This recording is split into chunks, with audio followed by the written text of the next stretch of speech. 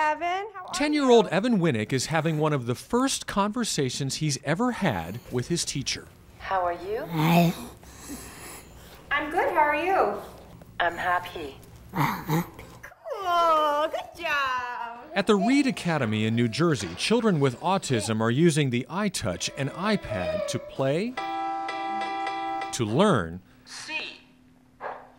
G. and to communicate like never before. The kids are using a language app to express their needs and feelings, some for the first time. I need something to eat. Diane Marshall says the technology is a huge help for her 16 year old son, David.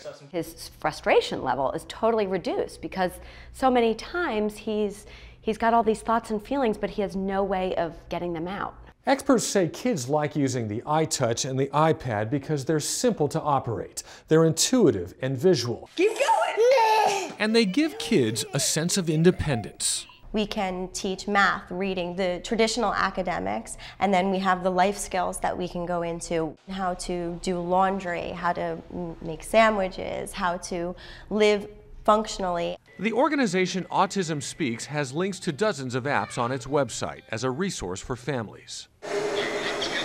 You want Skittles? For David Marshall and his family, the hands on technology is opening up a new world of understanding. Manuel Gallegus, CBS News, Oakland, New Jersey.